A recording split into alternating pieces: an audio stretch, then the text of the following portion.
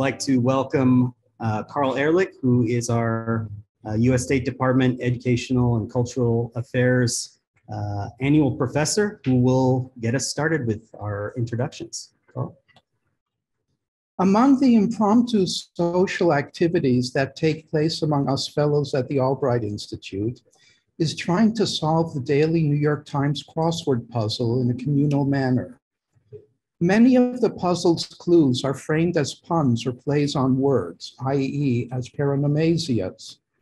In this spirit, allow me to introduce today's workshop organizer paronomastically as my fellow fellow who is not a fellow.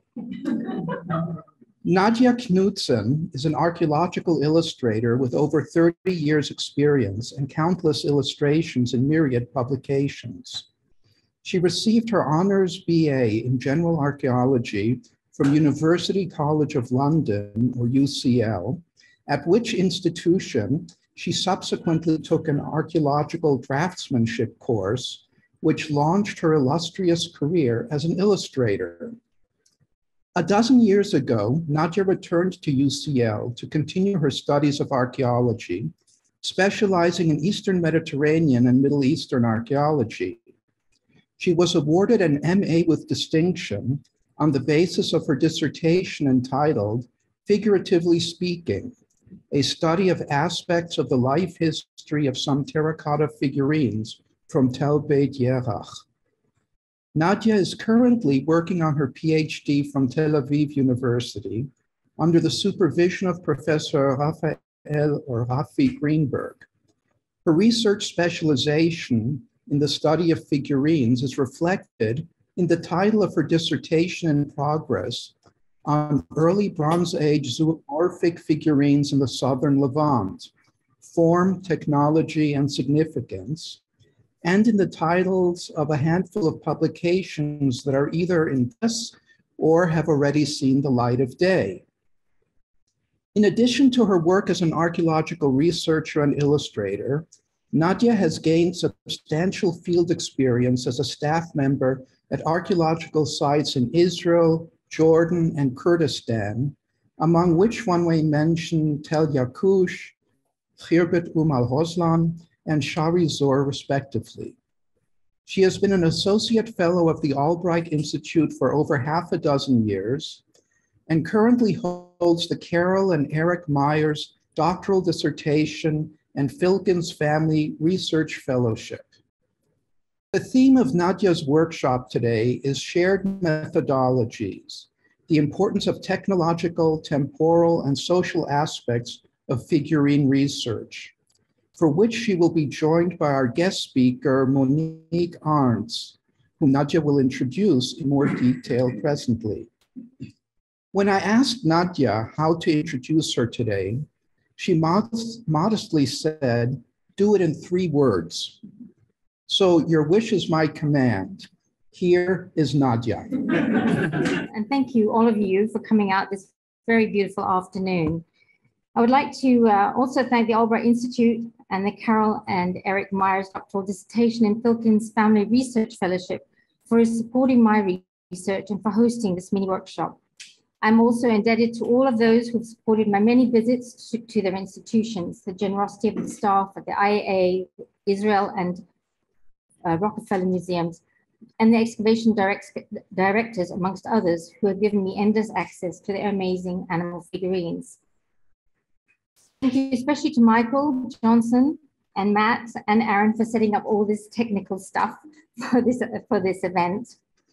And also, not least, Many thanks to Hisham, the chef, for the splendid spread that he's prepared for all of us, a positive sign of the gradual return for even greater levels of normality.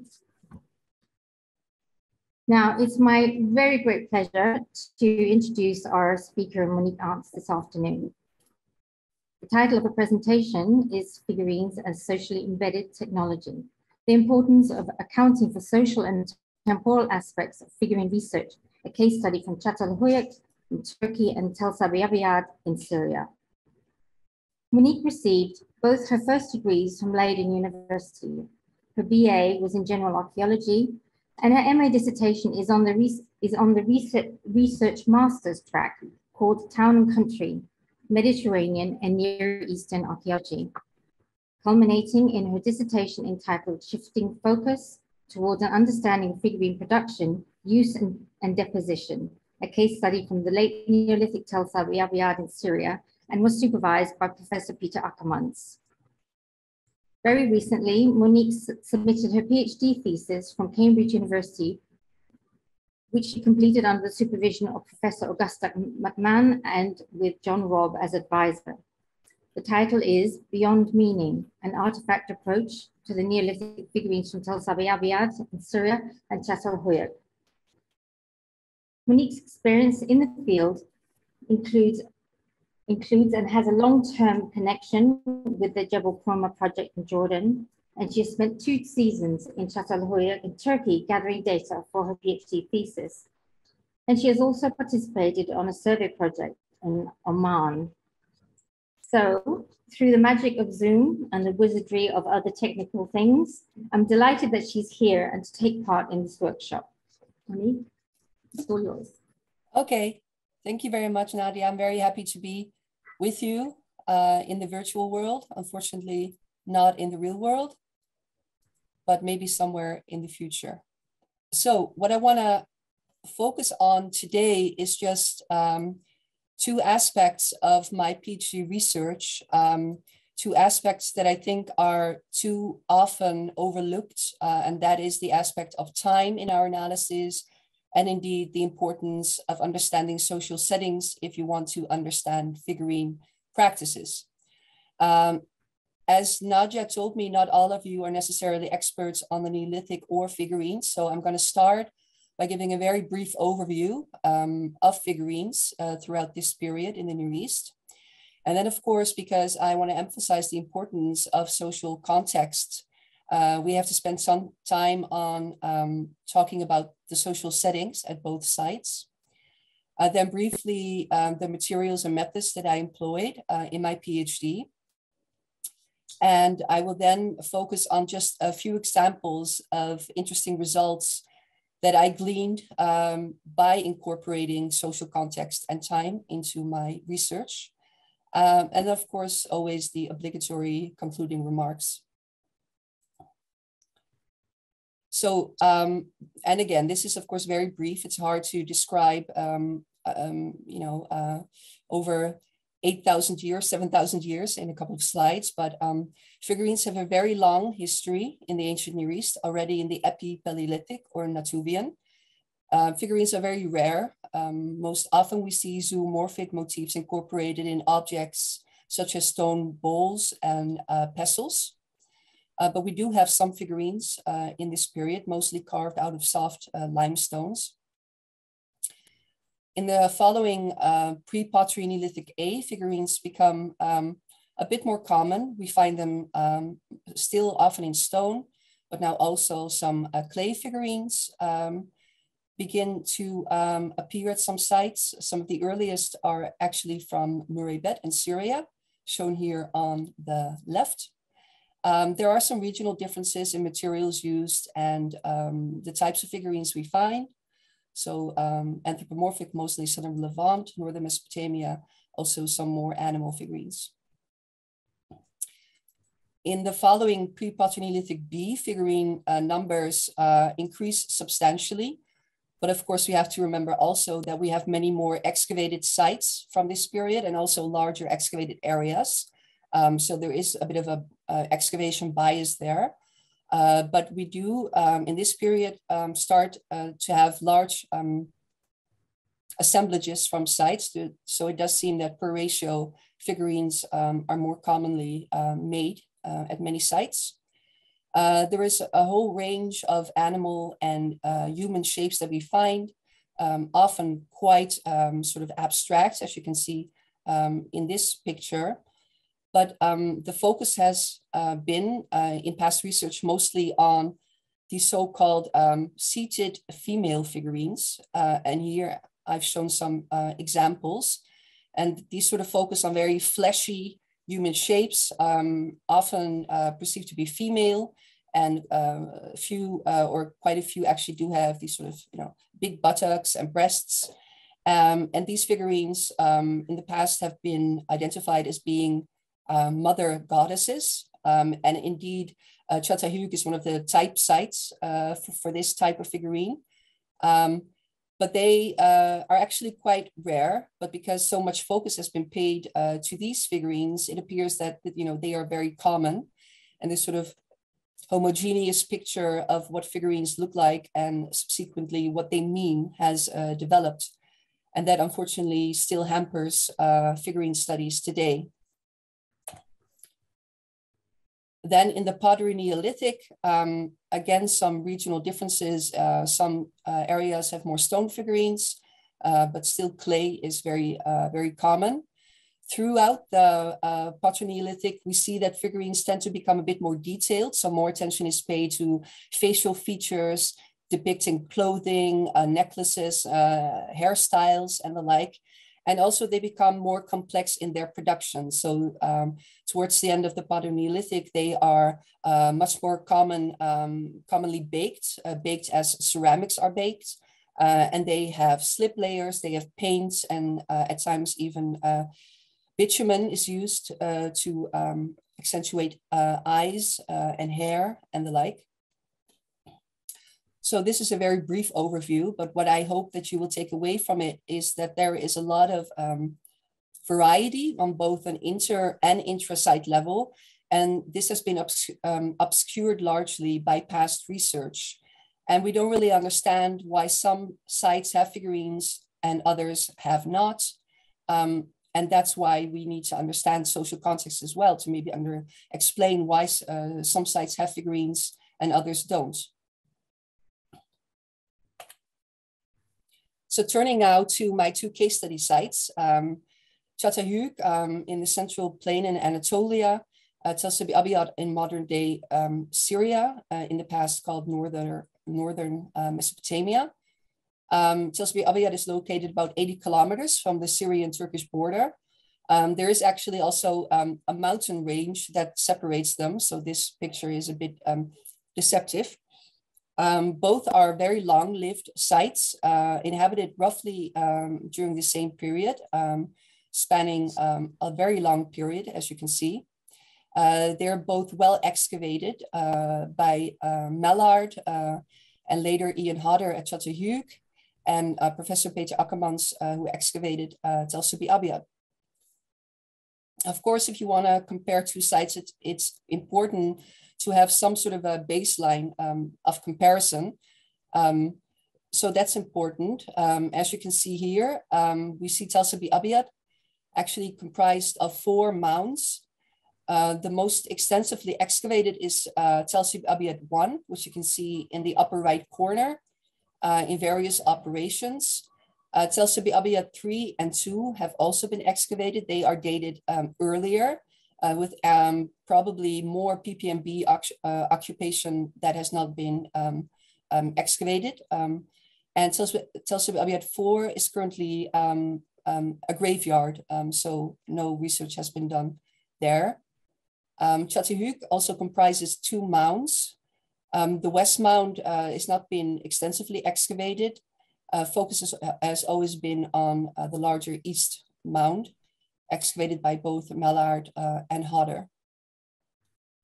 Now this baseline of uh, comparison, so both sites, uh, like I said, uh, roughly contempor contemporaneous, um, similar um, subsistence patterns, so a focus, early focus on domesticates uh, with some element of hunting wild uh, taxa and gathering some wild plants both sites um, have a very early introduction of pottery, actually some of the earliest, if not the earliest pottery in Anatolia and Northern Mesopotamia respectively. Um, throughout all the levels, the earliest levels to the latest, we have figurines, um, also more geometric clay objects uh, commonly designated as tokens. Both sites also evidence uh, long distance trade in stone uh, sources, uh, because there is no stone present uh, in the vicinity of both sites, most notably um, obsidian uh, that comes uh, from Cappadocia, um, and also another um, larger range of stone bowls, stone beads, and also um, some stone figurines, uh, most notably at. Uh, there are more than uh, we have found at Tel Sabi Abyad. But of course, if you want to um, look at different social settings, um, or if you want to look at social settings and how they influence uh, figurine practices, it's, all, it's of course interesting to have different social settings. And indeed, the, the sites are similar in some ways, but also very different in other ways. Most notably, um, Çatalhöyük seems to be the culmination of a long um, development in the Konya Plain. And um, is then this mega site as it was imagined in the past, really densely packed houses. Um, and in the past, um, population numbers have been postulated to be anywhere from three to 8,000 people. Now, through more recent um, um, studies and continuous focus on refining carbon dates, these numbers have been adjusted um, to be much lower, but still they were still much higher than they ever were at Tel Sabi Abyad. Um, Peter Akkermans coined the term shifting settlements to describe um, the site of Tel Abyad. And indeed, between the different mounds and on the main mound, settlement was moving around continuously, at times um, very short intervals. Um, people were living in a certain spot for maybe one generation, and then the settlement moved. So over time, this created the illusion of a very large site. And of course, the main tell is substantial, but um, there was never any more than a couple of dozen to maybe 100 people maximum living at the site at any given time. Um, it's also um, important, um, this idea of not really a continuity of place, uh, which is in contrast to Çatalhöyük, where Ian Hodder uh, coined uh, the term history house. Now, all houses to some extent have internal um, elaboration, as we can see here in these pictures, but some did have more than others. And some houses have uh, very long um, chronologies and they are, you know, they were rebuilt on sort of the same footprint time and time again. We see um, continuous replastering of the walls um, and the floors, and also very complex uh, burial ritu um, uh, rituals. And uh, some houses contain many more uh, burials than others. And for these houses, um, Ian Hodder coined the term history house. Now, this is in contrast to Tel Abyad, um, where there's no really a continuation um, of a building chronologies or sort of a very standardized way of, of building houses. Uh, furthermore, um, Tel Abyad has uh, two uh, uh, very large communal cemeteries that have been found thus far, used for many generations. Um, the houses at Çatalhöyük all have their own um, facilities for processing, storing, and preparing food. Whilst um, at Tel Sabi Abyad, we see that these activities take place mostly in the large open areas between different buildings. Um, and another uh, very interesting, if not the interesting uh, find from Tel Abyad is the very early evidence for the communal storage um, of goods and of sealing uh, goods, um, which I will show in the next slide. But we can postulate that at uh, the focus was more on the household, whilst at Tel Abyad, it was more on the community as a whole. And of course, this was also likely because um, population numbers um, at Abyad were, were, were such that everybody likely knew each other and had daily interactions, whilst Çatalhöyük was perhaps more anonymous in that sense because of the larger population numbers and people identified more um, with the household or the houses in their uh, immediate um, vicinity. Returning to these uh, sealing practices, um, the so-called um, burnt uh, village, uh, dating to around uh, 62 to 2000 uh, BC, um, has these very large buildings that you can see um, highlighted in yellow, these very sort of standardized uh, cubicle rooms that had evidence for um, the um, bulk storage of grains. and also in these other rooms, there were a whole plethora of finds uh, that seem to have some sort of an economic um, or um, administrative um, function, including many sealings, as you can see um, on the top right. So people uh, had uh, containers and there was, um, you know, could be stone vessels, uh, clay vessels, uh, baskets and the like. They were covered um, by clay, sometimes with like string around it. And then they were impressed with these personal seals. So marking personal property. Um, and also um, many figurines were found uh, in these rooms. It's not necessarily um, primary deposit per se, but it's sort of like a curated assemblage that was put into these rooms and um, subsequently, um, this whole settlement of large part of the settlement uh, was um, burned intentionally. Uh, there was also uh, two uh, burials associated with this burning of the, of the settlement. And this is some of the earliest ev evidence that we have in, the, in the Neolithic for seals and tokens as uh, items of um, sort of economic um, activities. It was not the case that there was sort of like um, um, elements of um, some sort of an elite being able to um, to have their own personal goods. There are many uh, different sealings uh, found. So it seems that every individual, or at least every household, uh, had their own seal. At first, it was um, interpreted as being uh, related to a larger regional trade network uh, but later um, interpretation changed to that of um, a permanent part of um, the population that lived at the site year round versus uh, people that were herding uh, the flocks of sheep and goat further afield, um, who came to the site, um, uh, you know, at some point in the year. Uh, and when they were away, they had the, um, they could store and seal their personal property. And this is in contrast to uh, Çatalhöyük. Um, tokens have been found, um, but there's no uh, real evidence that they were used for any sort of accounting um, uh, purposes. Another very interesting thing to observe is both sites have uh, really marked changes in the later levels, which um, has been linked to the 8.2 Ka event, a sort of period of um, climatic change um, sediment declines at both sites.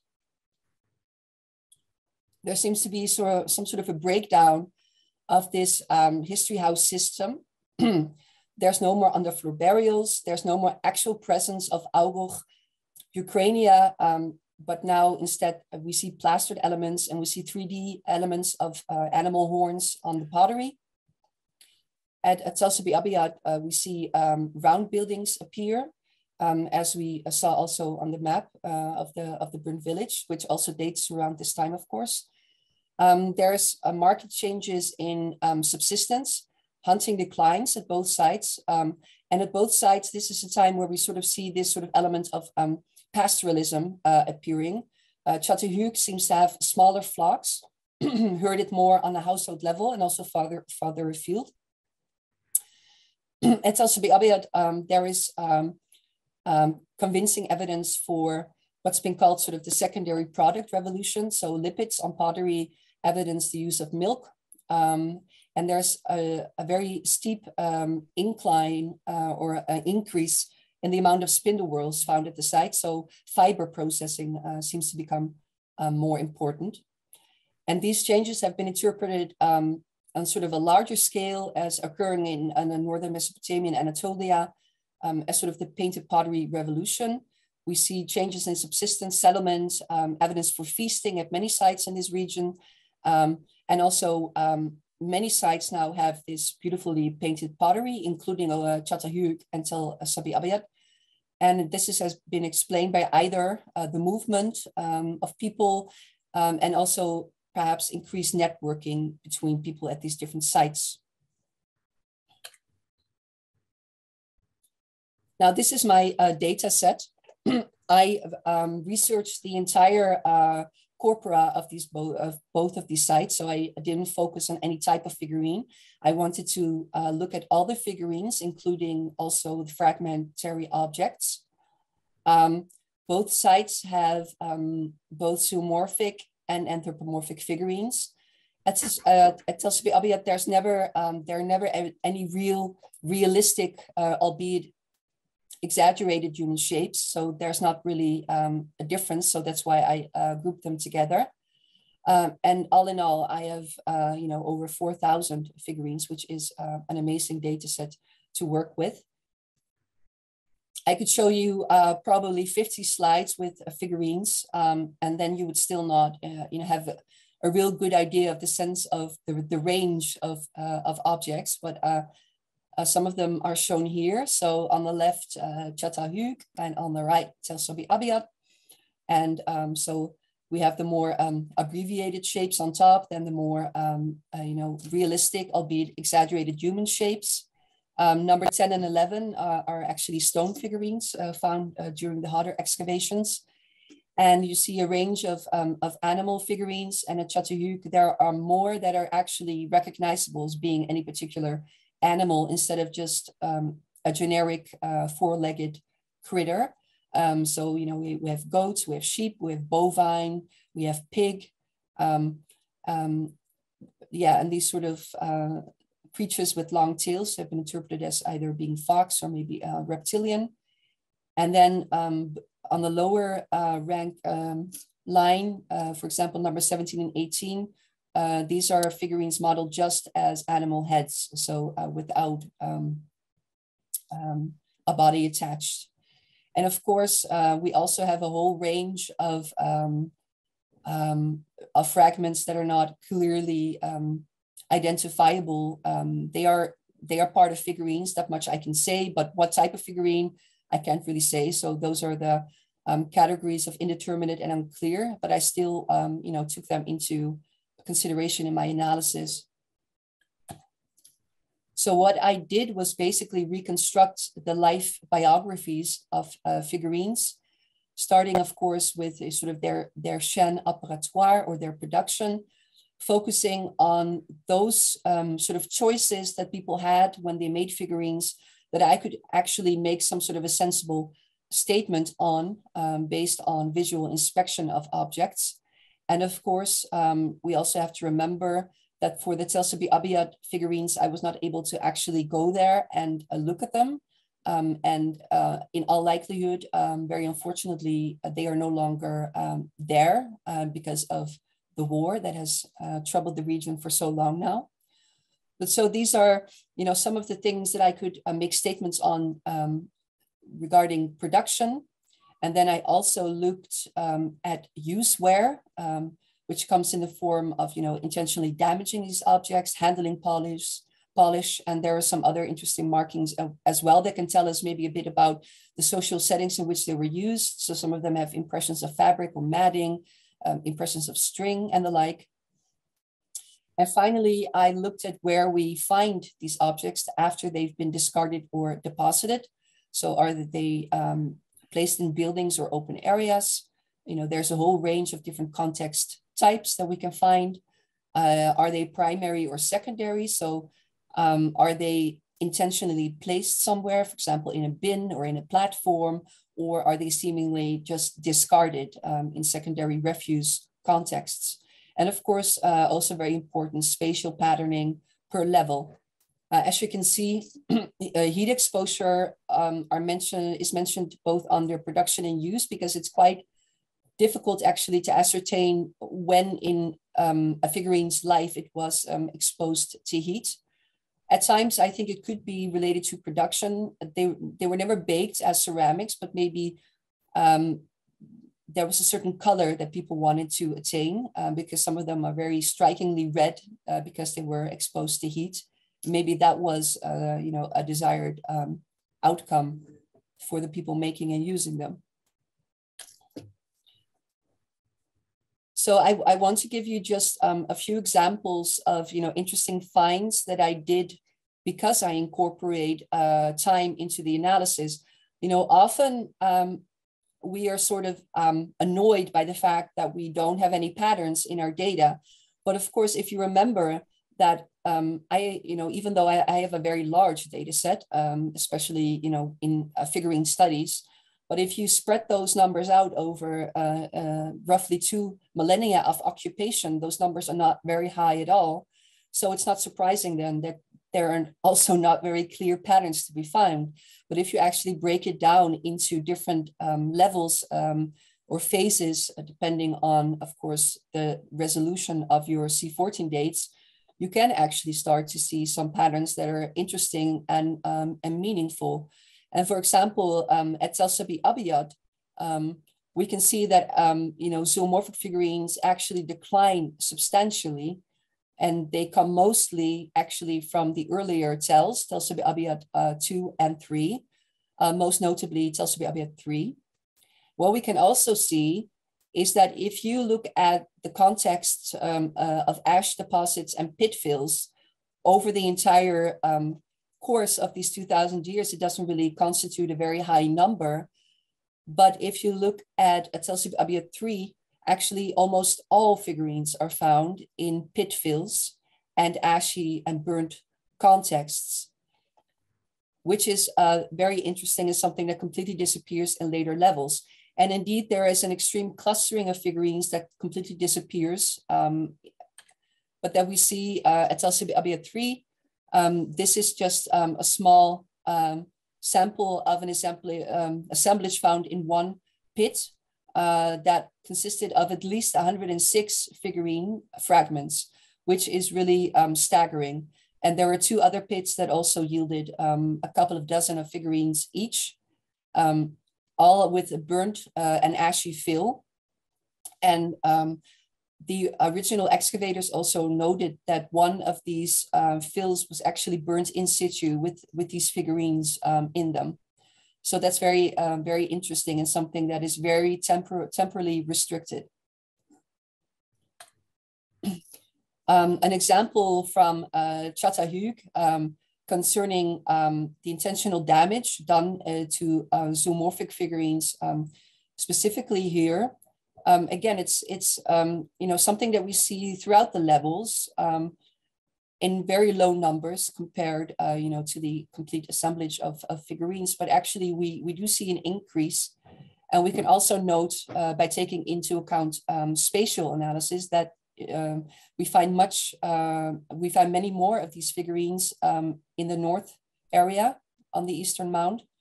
And there is an increase in the later levels um, of, you know, breaking and uh, deforming or flattening uh, these objects. And this is, of course, something that you would not uh, notice if you just, you know, take this entire data set as just one cohesive whole instead of being spaced out over all these different different levels.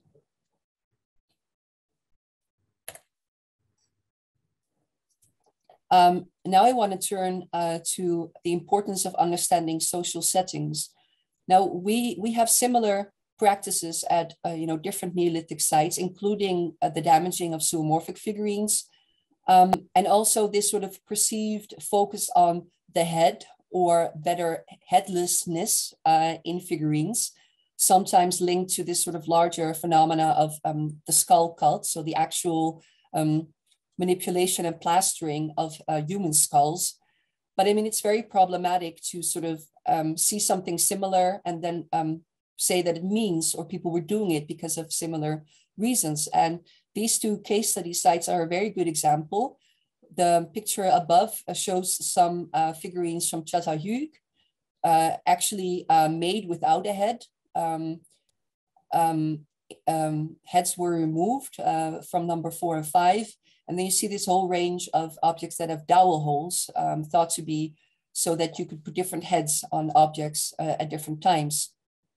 Now, from Tell Sabi Abyad, we, we have um, headless figurines from the burnt village, all from the same type, the what I've called the decorated type, because they have um, you know, so much um, elaboration on their bodies.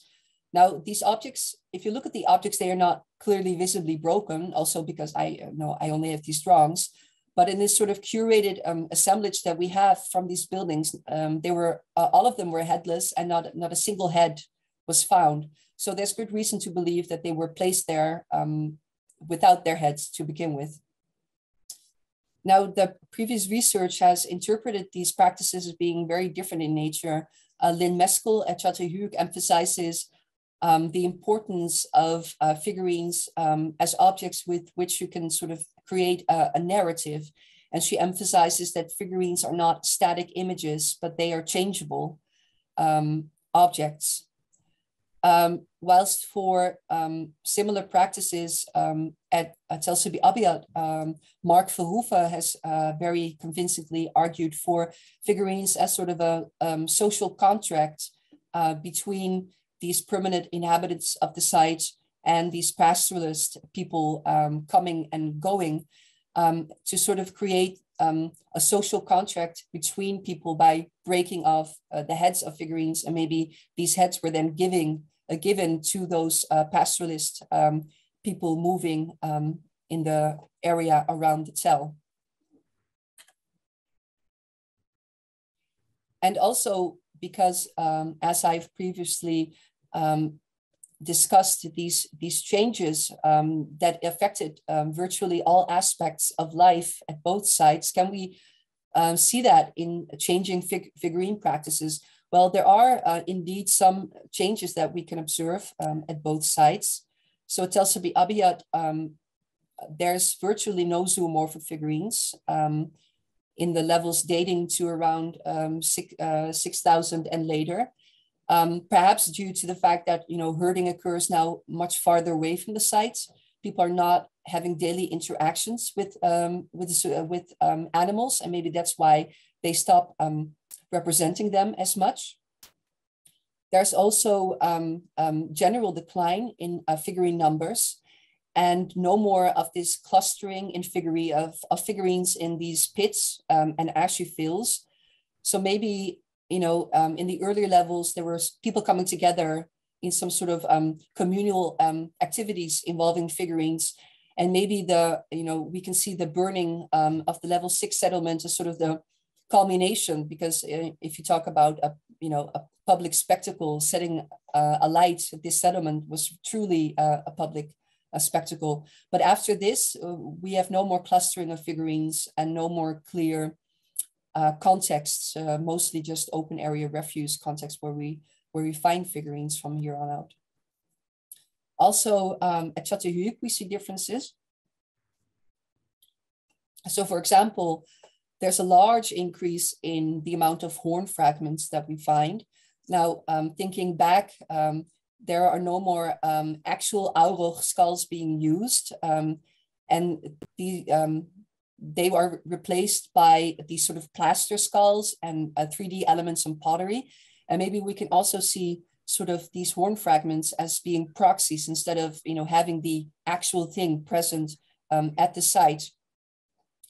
There is also uh, an increased realism, um, again, albeit exaggerated, in anthropomorphic figurines um, that we don't see in the earlier levels where they are much uh, more um, abstract um, also, the, um, the removal of heads of anthropomorphic figurines, as well as dowel holes that we see are all found in these later levels. And maybe we can um, understand, you know, this um, figurines becoming from maybe less anonymous to actual uh, individuals or maybe um, representing households or lineage, lineages and maybe they are used to negotiate these sort of, sort of new social uh, relations that are forming at the site.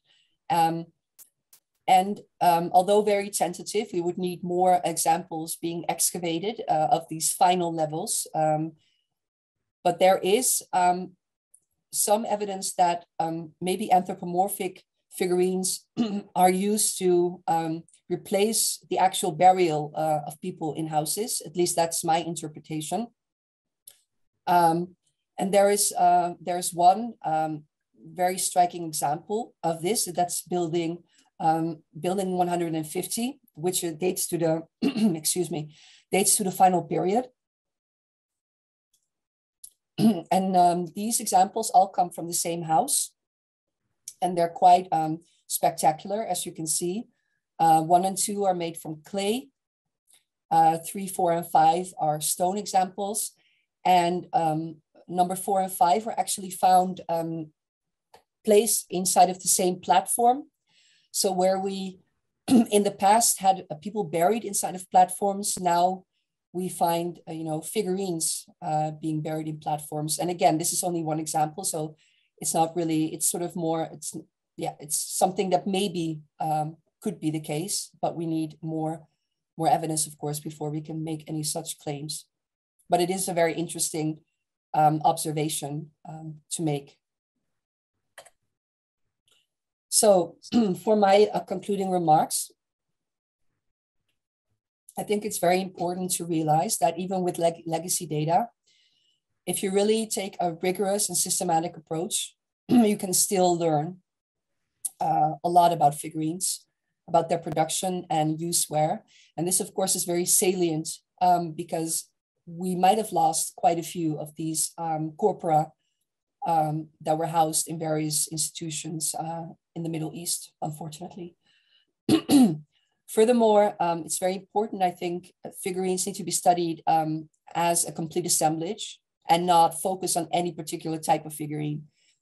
And also we need to understand that figurines are not special material culture. They are part of a larger set of uh, material culture and they need to be studied um, as a whole. Um, there is sadly very you know few detailed studies um, um, that take sort of this artifact approach, which um, has created large gaps in our in our knowledge. Um, you know, if we, if we know of more sites where, for example, zoomorphic figurines were being damaged on purpose or head removal, and um, and the like, we could start thinking more about why do some sites have these practices, why do others not, and you know what are these sort of interactions spheres that we can see uh, through these uh, similarities and uh, differences in figurine practices. And of course, finally, as also uh, my uh, the title of my talk implied, figurines are, as all material culture, socially embedded. And I think social settings, uh, you know, are vitally important to inform us about figurines instead of us using figurines to um, um, look at social um, settings. Social settings are a primary if we want to understand um, the why and how um, of figurine making uh, and using. And that was that was it for me. So thank you very much uh, for your attention. Lovely, thank you. Well, the topic of, the topic of this presentation is a very discrete corpus of ceramic donkey figurines that forms part of my wider ongoing PhD research on zoomorphic figurines from the Southern Levant. The project is still a work in progress and does not aim to offer a final solution or answer to the whys and wherefores of figurine life. Rather, the primary emphasis today is on the benefits of direct material engagement, that is, using artifacts as a primary springboard for research and understanding the technology, the character and the status of the material in hand and how this might inform and impact this work. The overall spirit of the workshop leans towards a practical hands-on approach. So therefore, after the lecture and any questions and or comments from the audience, I have made a few replica donkeys for those who would like to have a look over there. And they're on the slide as well. And there is, uh, there are complete specimens um, there as well, sorry, they're complete ones as well as broken bits and pieces to illustrate what these battered fragments might look like on excavation. In addition, if you should feel tempted to make to try to make one of these, there's some clay over there as well. So please help yourself and have a go at creating your very own equid.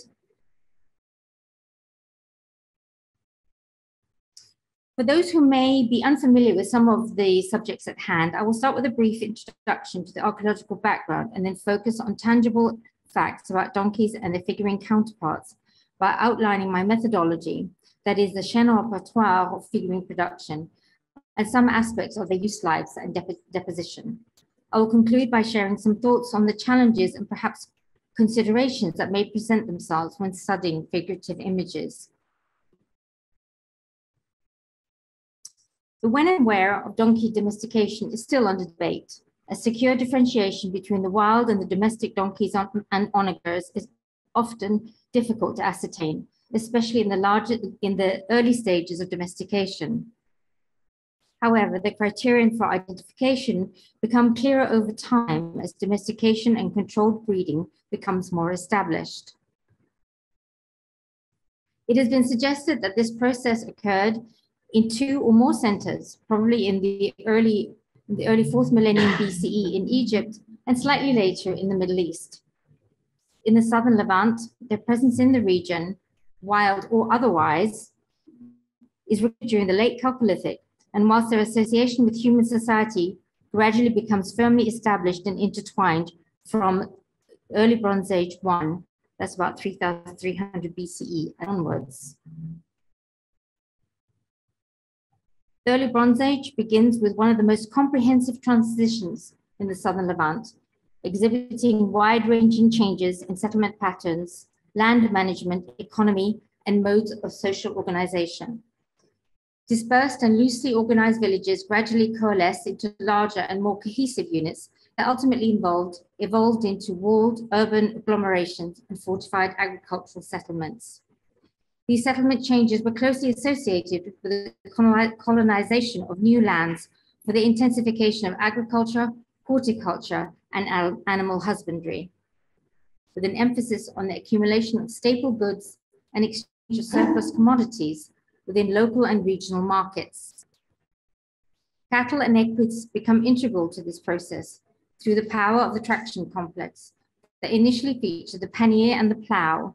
Later, ox or donkey drawn carts may have made their appearance as production and transportation of materials and commodities became essential in facilitating long and short distance trade.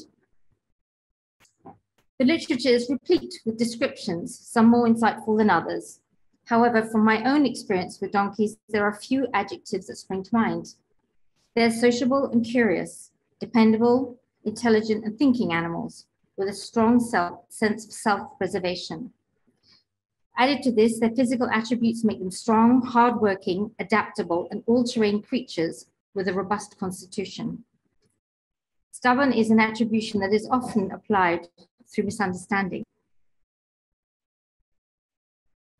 Aside from the familiar agricultural draft and load bearing chores, the versatile donkey is also employed in a variety of other related and little known tasks, including transportation of young animals and a guard donkey to protect other livestock from predators. These images are more recent, of course. However, there's no reason to presume that similar roles were not also relevant in the more distant past.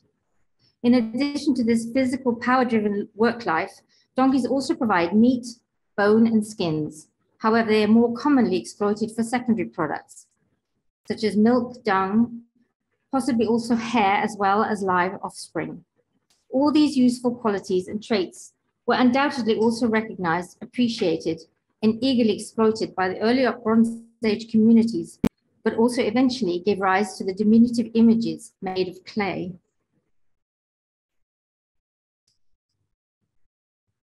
Miniaturization, that is to say, three-dimensional, freestanding, portable, and seemingly non-utilitarian replicas of both people and animals have long been part of the human creativity. However, throughout the passage of time, the volume of such representations has waxed and waned, mirroring the fluctuations in their significance to the societies that produced them. The Neolithic and Iron Ages produced a plethora of all types of figurines, while the Chalcolithic and the Intermediate Bronze Age were both fairly restrained in their repertoires. Figurines did persist, but in much lower numbers. Wedged in between these two latter periods is the early Bronze Age and its corpus of animal figurines. And I specify animals, as interestingly, this period is practically devoid of human images, with possibly only a handful discovered to date. Instead, clay animals are present throughout the period, representing a range of domesticates, namely sheep, goat, cattle, equids, that is donkeys in early years, and a few rare birds. Although largely understudied, they are, however, regularly discovered at archaeological sites throughout the region. Donkey figurines are unique amongst these, and they are central to the rest of the talk. Right, as I said, I specify animals as interestingly in this period this period is practically devoid of human images, with possibly only a handful discovered to date. Instead, clay animals are present throughout the period, representing a range of domesticates, namely sheep, goats, cattle, equids, and a few rare birds. Although largely understudied, they are, however, regularly discovered at archaeological sites throughout the region. Donkey figurines are unique amongst these and are central to the rest of the talk. Much has already been suggested about the functions and the possible values and symbolism attributed to figurines in general, but little has been said about their concrete materiality and how understanding the details of clay figurines may eventually offer new insights into how and why they were used. To this end, my core methodology aims to understand the figurine repertoire, which is a process of figurine manufacture, detecting possible evidence for use, as well as integrating details of discard and deposition. As expressed by numerous scholars, such as Pierre Lemonnier, Roger Moorey, and Peter Ucko, there is no substitute to spending face-to-face time with your material. Following this advice, one of the primary criteria for inclusion within this research is the availability for first-hand study alongside experimental archaeology in the form of figurine replication. Both aspects have proven to be invaluable in the quest for, of beginning to learn how to read figurines. Rising to prominence, particularly towards the end of the 20th century, experimental archaeology is a useful investigative tool combining archaeological research and info with informed experimental inquiry. This brings multiple benefits, providing an, an improved understanding of the mechanical and technical qualities, strengths and the weaknesses of the materials used, and also in the artifacts or principles that are under investigation. The associated experiential and sensory rewards includes insights into time investments, physical gestures and habitus, and environmental factors, to name but a few. So with no template for this particular category of material, my methodology has evolved and modified. I use various lenses, up to 8 to 10 magnification, recording visible technological details, decorative elements, breakage, modifications through wear and abrasive action, burning, and any other pre and post depositional activity.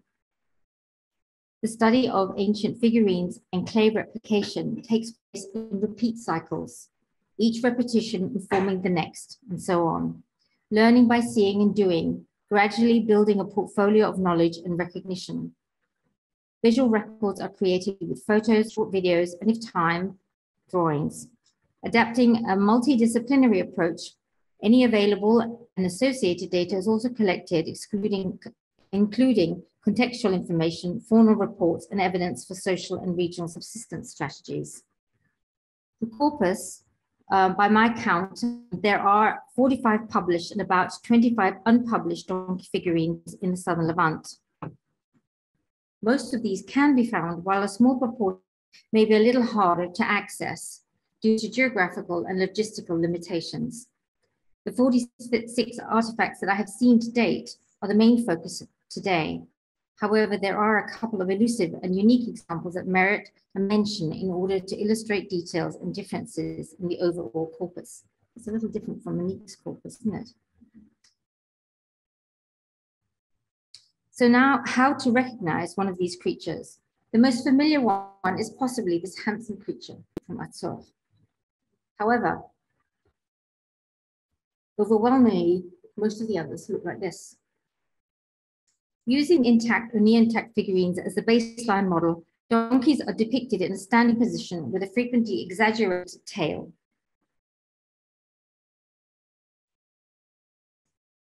Uh, exaggerated tail, slender neck and shoulders, upright ears placed on top of the elongated head. Facial features may or may not be present alongside a pair of pots or panniers on either side of the body.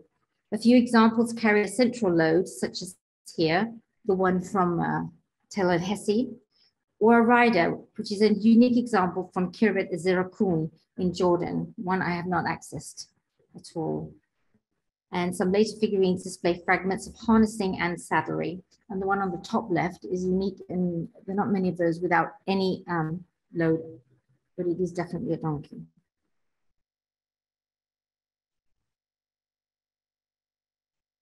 Familiarity with the complete figurine helps to identify the broken ones. Damage to legs and tails is ubiquitous. However, donkeys display elliptical or oval scars from absent scars, absent ears, and scars on the torso from former loads or a rider. Detached elements, panniers or pots, ears, and bits of saddlery are also considered rep representations of the host or parent donkey. So how are these figurines made? A few scholars have offered up a suggestions, but most commonly that they were made from a single piece of clay. My research to date has led me to believe that the figurines are generally not made from a single piece of clay. Rather, they are the result of modular production. And this, this is, that is prepared elements that are added to the central core, the torso, permitting an easier and more controlled result. Now, the sequence of production was no doubt individual to each figurine maker. So here's a short video to illustrate my take on this process. If you do it. I can't see it. oh, I can see it. Oh, it's going. Fine. Fair enough. So there I am um, pinching out a leg, one leg. You can do two, two more, but if you pinch too many, you won't have much of the torso left. So you, you can add one, one leg, two legs, or four legs, but usually I end up adding three legs or four even.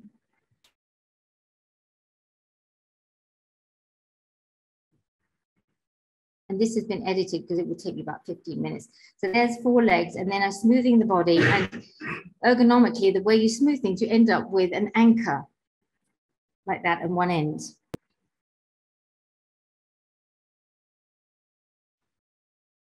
And then the head is added by uh, making a hole in the head. It's usually lozenge shaped or elongated.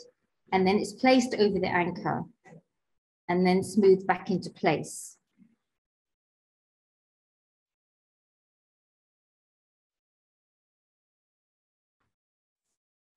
And then the eyes and mouth and sometimes the nostrils are added uh, where appropriate um, or if desired.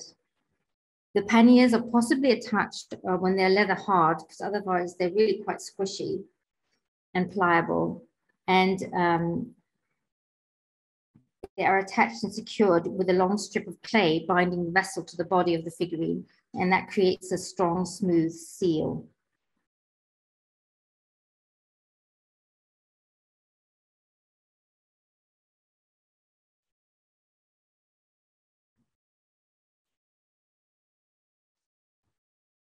And the ears and um, preformed ears and the tail are then added and smoothed into place.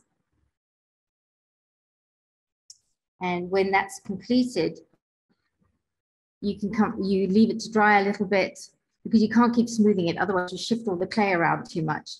And when it's leather hard, you can smooth it again using water. And if it's really, um, really quite leather hard, you, you can use a stone, a stick, a shell, a fingernail to burnish it if you so wish. And when it's bone dry, you paint it. And the final firing, which none of mine are, however, that can um, that would happen after a period of time when it's totally dry and it's likely to happen alongside pottery.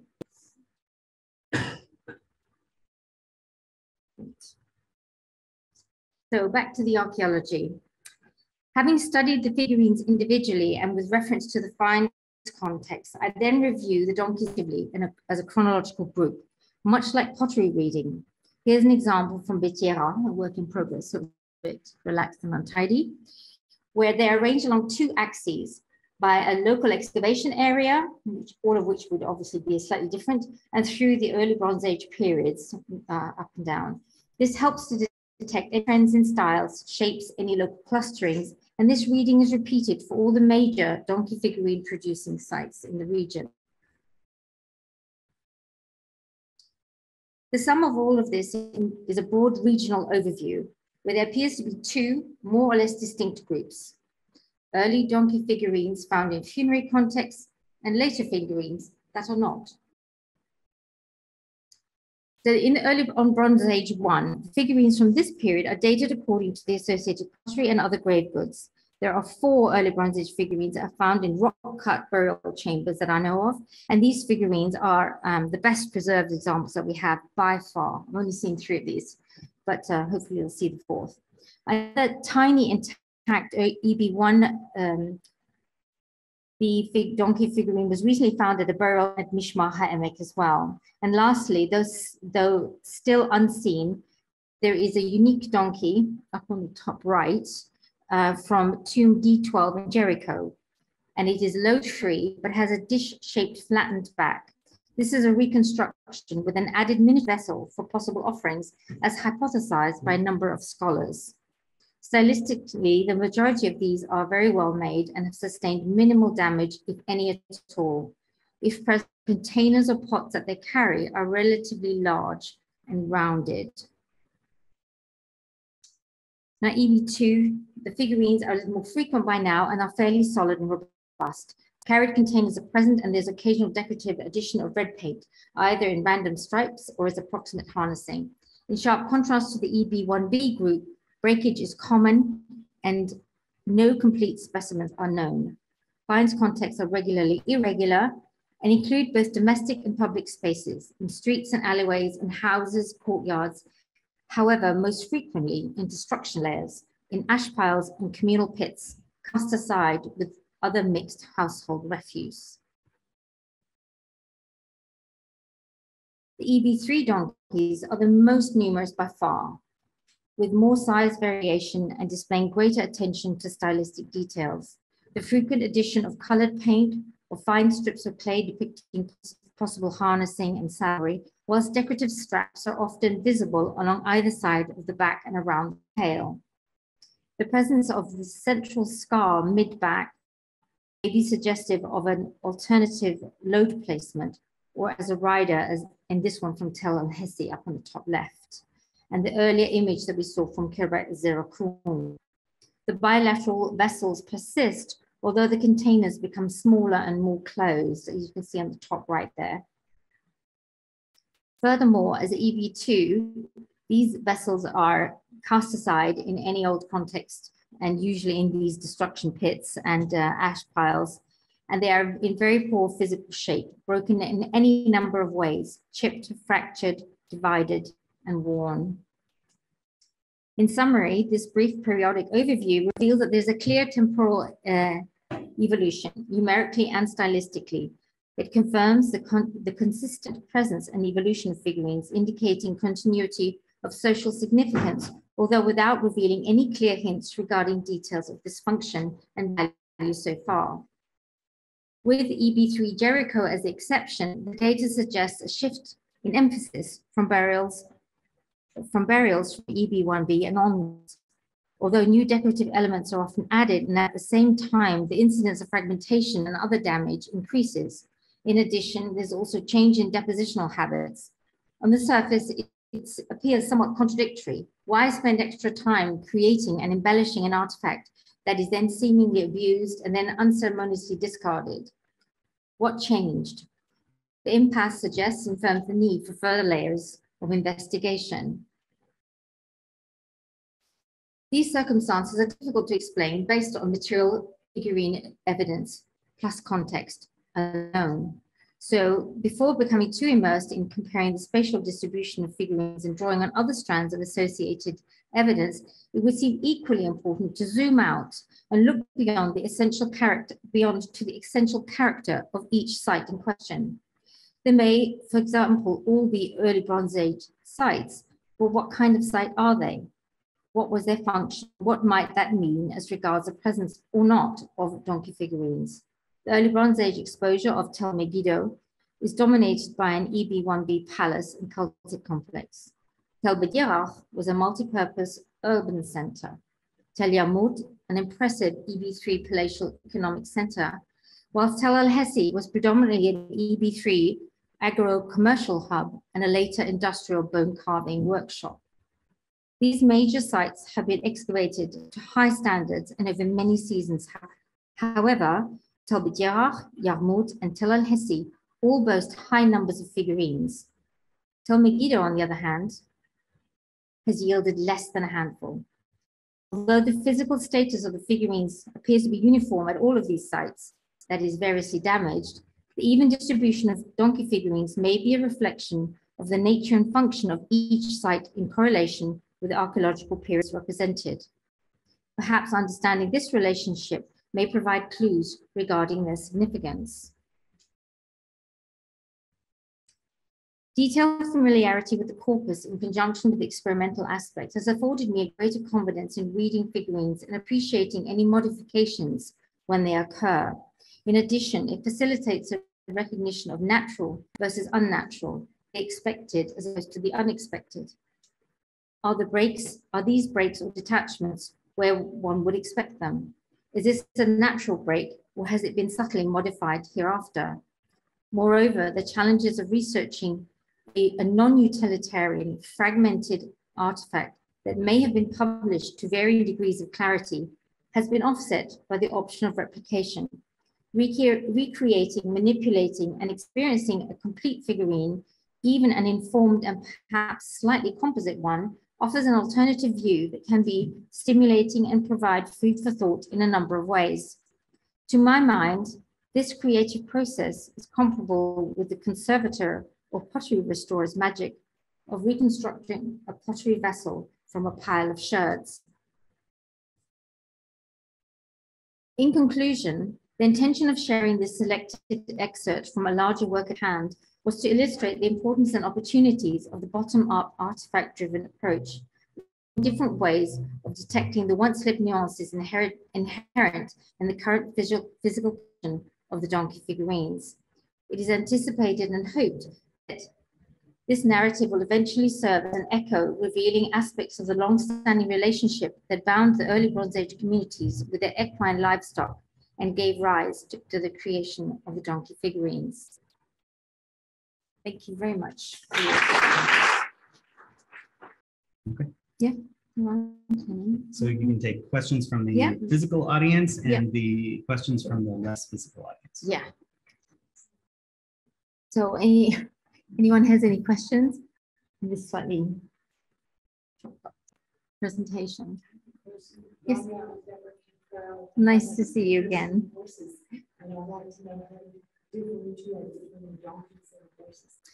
Well, the donkeys come a lot late, the horses come a lot later.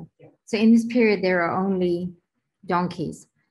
Possibly towards, depending on where you are, maybe down south, right down way south towards the Negev, there are horses a little earlier in, but that's not till the EB3. So this in the earlier periods and certainly up north, it's donkey figurines. But I mean, like you say, there are some of them that I look at that are late EB3 and I'm wondering what is their intention? Is it donkey? Is it a horse maybe? Because both these creatures can travel. But um, so we haven't gotten around to to uh, high enough resolution to be able to tell. But so far, I believe in EB3, they're mainly donkeys and the EB as a whole. Thank you. Thank you very much. Yeah.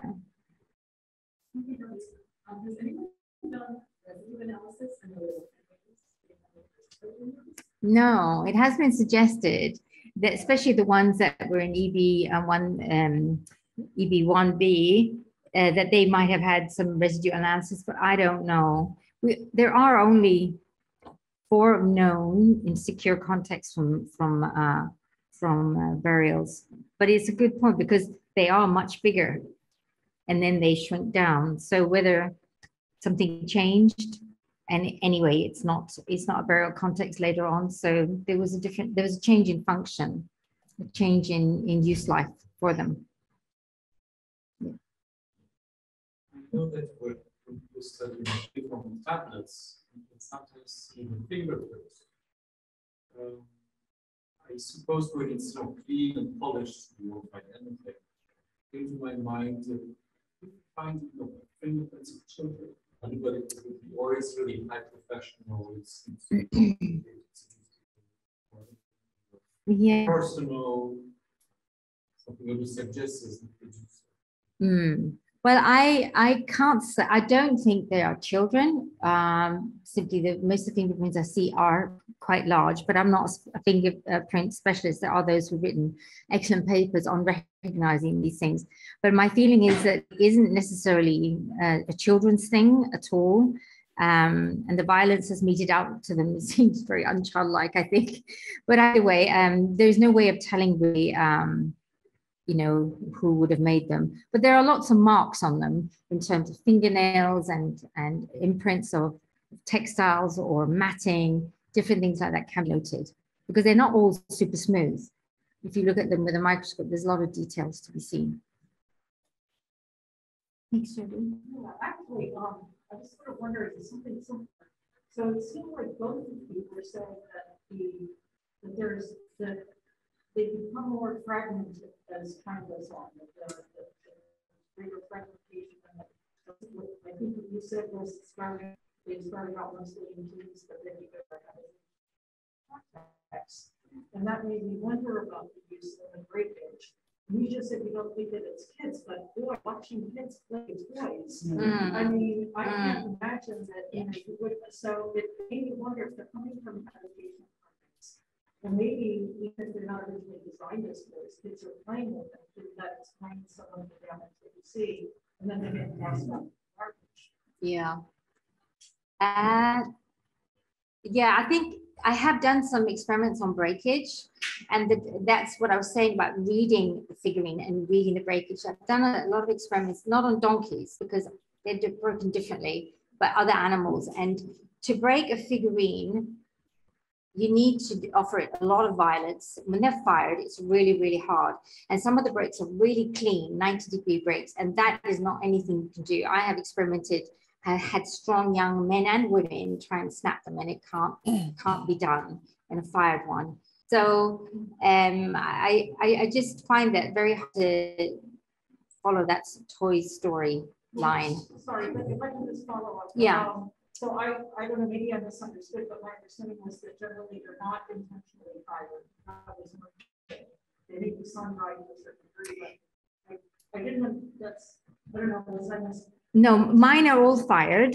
Mine are all fired, but Monique may have something to say because hers are generally not fired, as in pottery kiln fired. Is that right, Monique? Yeah, that's right. Um, Oh, one minute, I can't hear. Can you hear? Hello, everyone. Welcome to All Tech Lamping.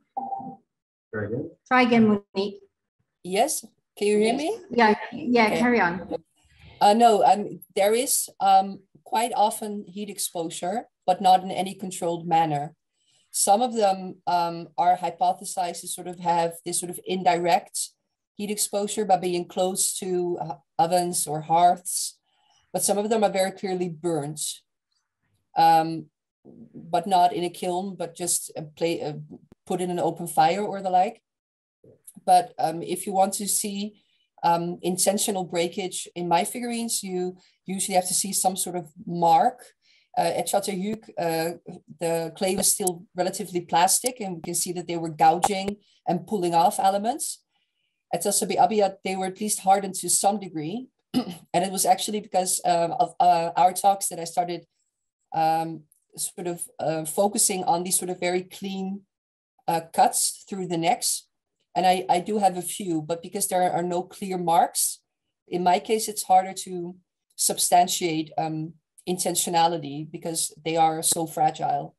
Um, um, so um, it's more difficult in the Neolithic, I would say, to um, substantiate claims about intentional uh, breaking of these figurines. Yeah.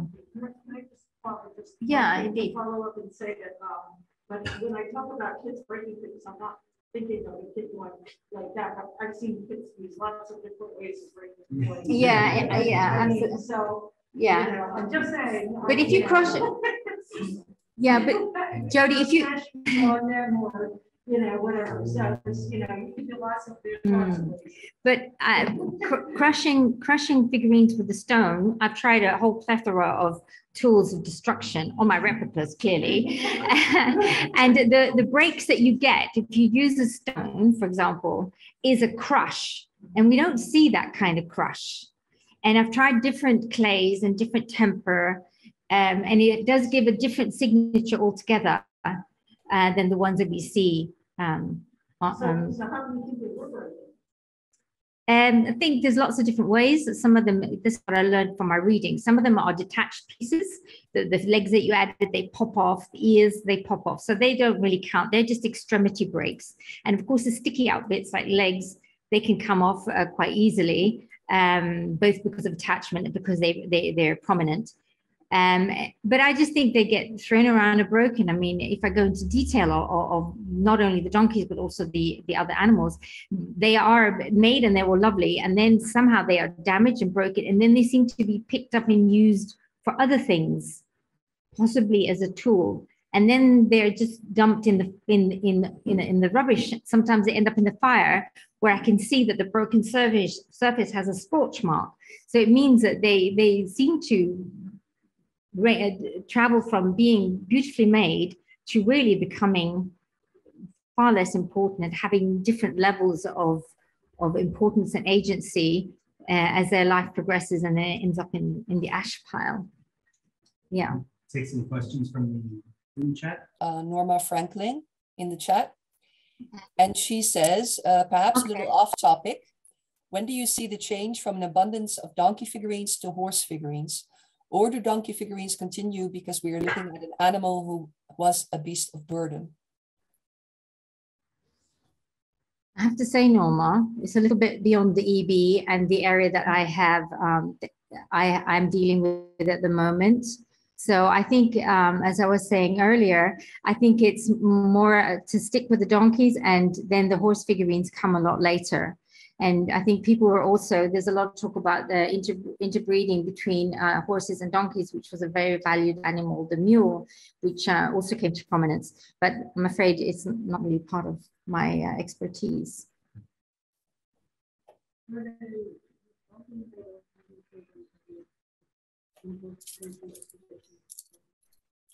Uh, we don't know because um, there are very few, and to do invasive uh, um, studies on them is clearly not very popular with any of the museum groups or anyone else, which is totally understandable.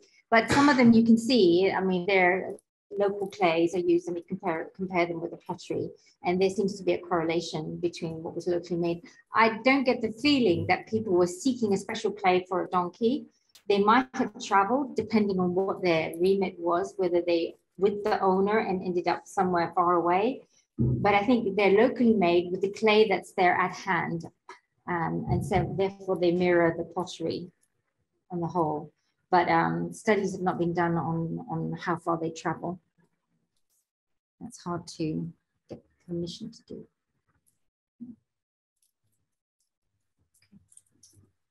Okay, thank you. Nadia? Uh, thanks to everyone uh, in Zoom land who joined us and of course the local people as well. Uh, here you go. However, we will um, we will open a uh, cell phone Zoom uh, for those of you who want to stick around in Zoom and take a look at some of Nadia's figurines that she's made herself and watch the audience tinker with them. And uh, Jody will be the first to try to break. So otherwise, uh, thanks for coming and uh, you'll be able to see the Zoom link uh, that Erin is posting now. Um, thanks a lot. Thank you, Monique. Yeah, you're welcome. Thank you. Yeah, thank, thanks, Monique. It was great to have you. You're welcome to stay and watch as well.